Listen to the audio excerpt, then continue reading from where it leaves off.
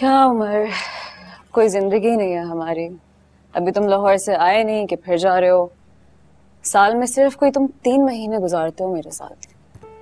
जब शहर में होता हूँ तो घर पे ही तो रहता हूँ।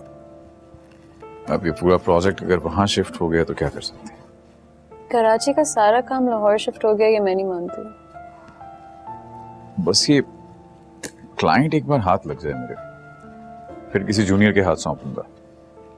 You know I am a family man right तुमसे दूर रहना मुझे खुद भी पसंद नहीं है।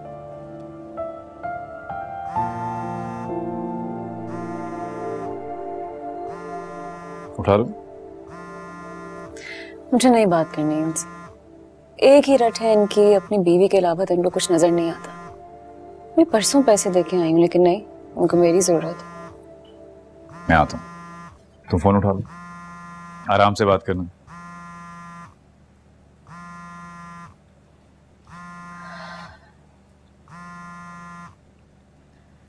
जी अब्बा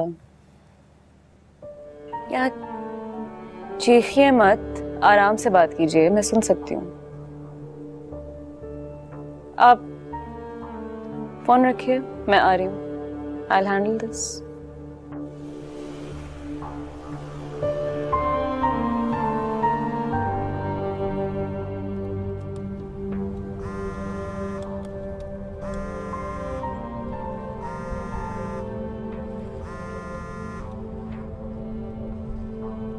हेलो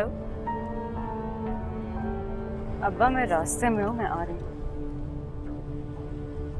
मैं आ रही हूँ।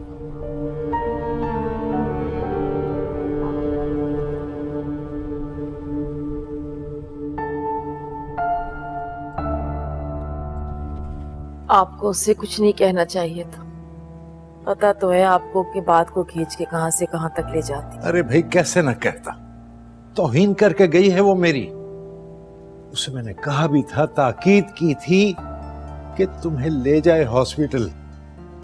अगर वो एक घंटा यहाँ गुजार लेती तो कौन सी उसकी शान में फ़र्क आ जाना था? काम डाउन कोमल काम डाउन तुम सब कुछ कर सकती हो। तुम एक अच्छी बेटी हो, एक अच्छी बीवी हो, एक अच्छी माँ हो। लेकिन तुम्हारी माँ तुम्हारी माँ को कभी तुम पे तरस नहीं आता।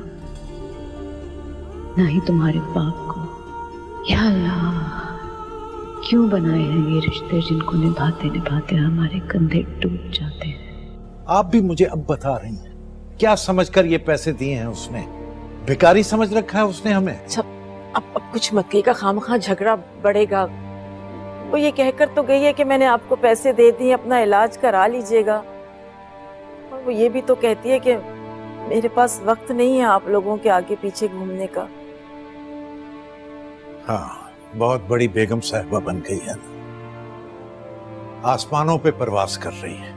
हाँ हम तो किसी गिनती में ही नहीं आते।